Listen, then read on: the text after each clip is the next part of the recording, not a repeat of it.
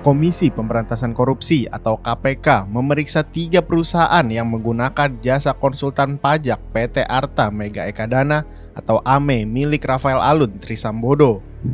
Hal tersebut diungkapkan oleh Kepala Pemberitaan KPK Ali Fikri melalui keterangannya pada Kamis 6 Juli 2023. KPK memanggil saksi dari tiga perusahaan yakni Direktur PT Apexindo Pratama Duta, Agustinus Bensik, Direktur Keuangan PT Birotika Semesta, Rocky Joseph Pesik, dan Direktur Keuangan PT Airfest Indonesia yang diwakili atas nama Lilita. Diduga tiga perusahaan tersebut memberi fee dalam bentuk uang kepada Rafael Alun agar lolos dari wajib pajak. Rafael Alun diduga menerima gratifikasi sebesar 90 ribu dolar Amerika Serikat dari beberapa pihak swasta yang terlilit wajib pajak melalui perusahaan konsultan pajak miliknya, PT Arta Mega Ekadana.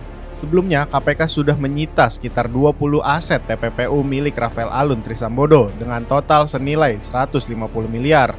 Aset-aset yang disita antara lain sebanyak 6 bidang tanah dan bangunan yang berada di Jakarta, 3 aset di Yogyakarta, dan 11 aset di Manado, Sulawesi Utara.